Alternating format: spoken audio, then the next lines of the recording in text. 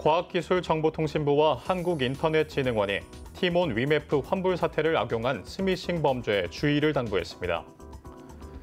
과기부와 한국인터넷진흥원은 최근 티몬 위메프 환불 사태를 악용한 스미싱 유포 정황이 탐지됨에 따라 개인정보와 금융정보 탈취 등의 피해로 연계되지 않도록 사용자의 주의가 필요하다고 전했습니다. 이어 출처가 불분명한 사이트가 포함된 문자 등 스미싱이 의심되는 경우 접속을 자제하고 의심되는 사이트 주소가 정상 사이트 주소와 일치하는지 여부를 확인해 피해를 예방해야 한다고 안내했습니다.